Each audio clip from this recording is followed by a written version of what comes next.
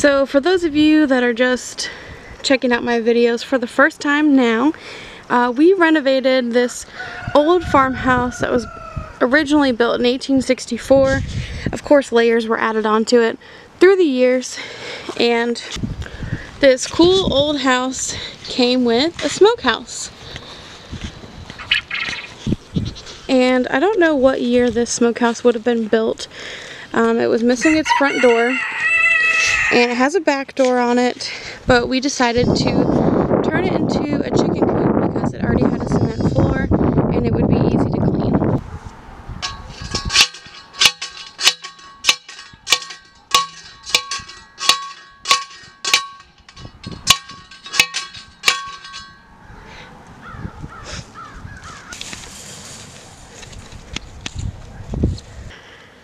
Where is it gonna go? So here's some of my silkies and my naked neck chickens. I also have my one turkey named Beethoven. Beethoven turned out to be a girl.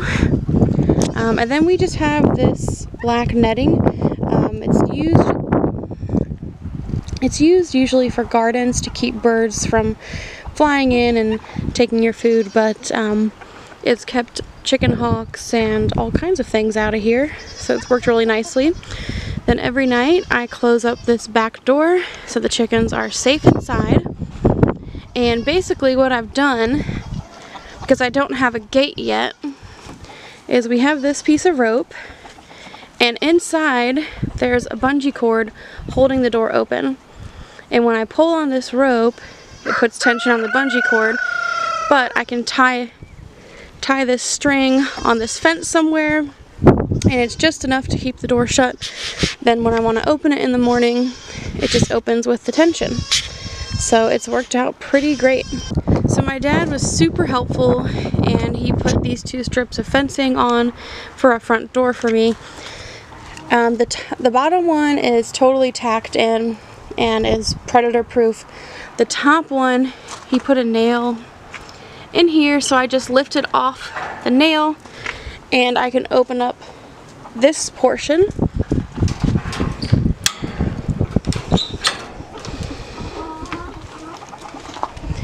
But as of right now I have no way to go in there other than climbing the side of the fence. So I do want to add a door on there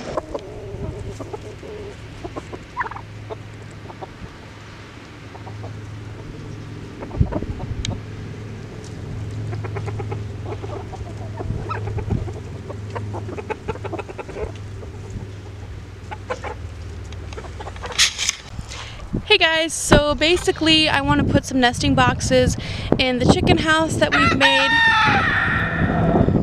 And um, if I have time, I would like to try to build a door for the chicken house.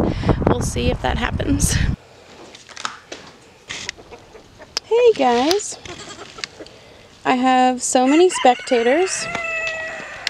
Basically, I'm just going to take off this crate that I've used as a nesting box Gonna take it off the wall and we're gonna put it with the silkies up there.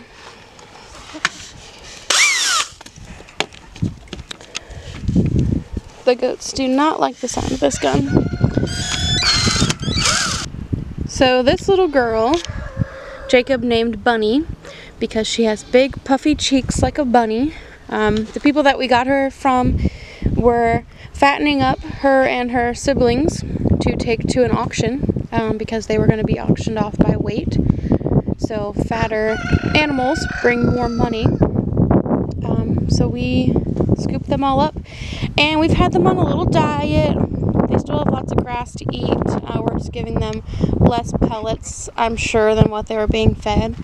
Um, and we're still working with them on getting them to be a little more friendly. But she's super cute. Aren't you? So now we're in the smokehouse or whatever we want to call this building. Um, you can see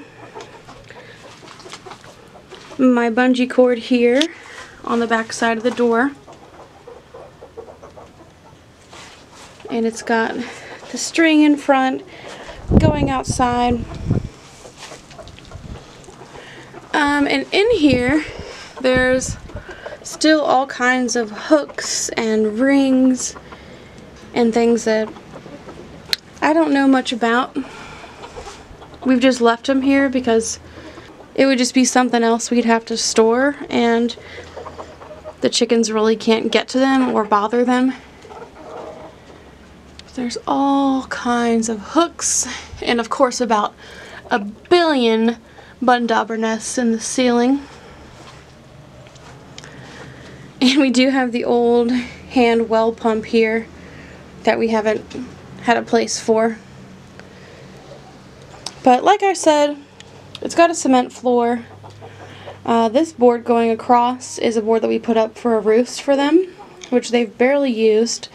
Um, mainly because silkies cannot fly, and in my experience with them, they tend to want to just lay on the ground, which is terrible for predators. Um, you know, because they're they're a very easy target. So everything that you put up for them has to be low. Um, I try to keep things like around two feet off the ground because any more than that, they really won't be able to use it. So yeah, um, we have an egg over here right now. Oh, two eggs.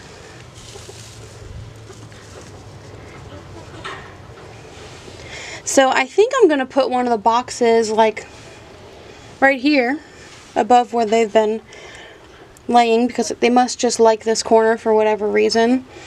Um, and then I'll put one up a little bit higher somewhere. And once I put these boxes up, I absolutely expect that there's still going to be some of them that are just going to lay their eggs on the ground because, like I said, some just prefer to stay on the ground.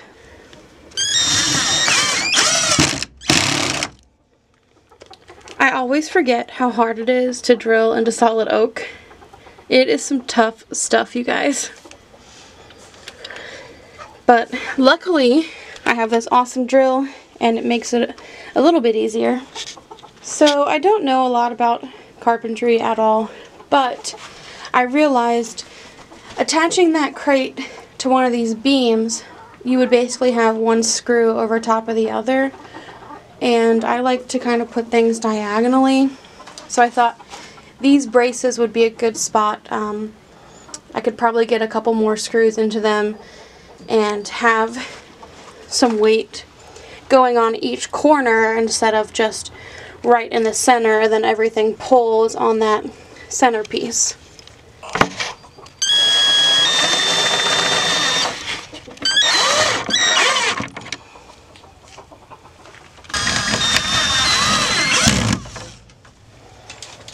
So I think three screws, yeah, that'll hold a chicken just fine. And this girl's already trying out this box.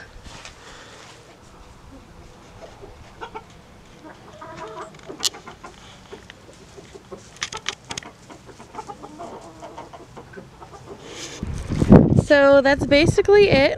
I hope you guys enjoyed this video and if there's a project you want to take on, I hope you think outside the box and use what you have on hand because um, that's what the fun is all about.